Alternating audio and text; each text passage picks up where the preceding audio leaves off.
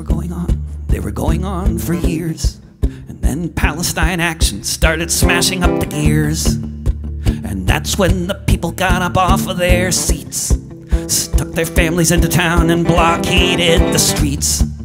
For three days and nights, you could hear the hammers swing, though no one knew for sure what the future might bring. They knew one thing for certain these weapons of war must not be sent to the ports they're heading for. So, this is a note to Elbit Systems you will be shut down when the sledgehammers of justice come to town. After smashing up equipment and smashing a whole bunch, a lot of folks began developing a hunch. The cops took three full days to send anyone inside, and after 15 hours, they let the charges slide. It seems the prosecutors understood the climb. British companies aiding and abetting war crimes. The factory in Oldham had to close its gate. And the muralists in Palestine said that's smashing great.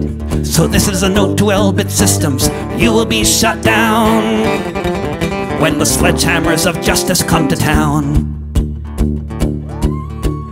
All around the country, hammers being swung, showing civil disobedience is stronger than the tongue. Taking action here so the weapons go nowhere. So they don't get sent to the IOF, cause we know what they'll do there.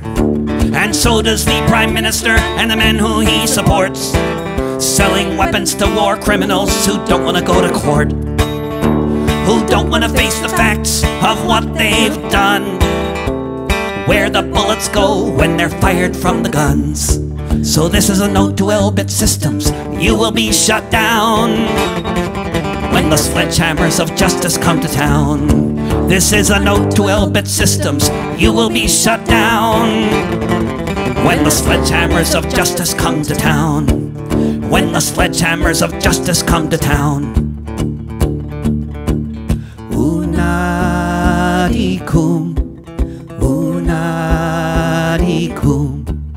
un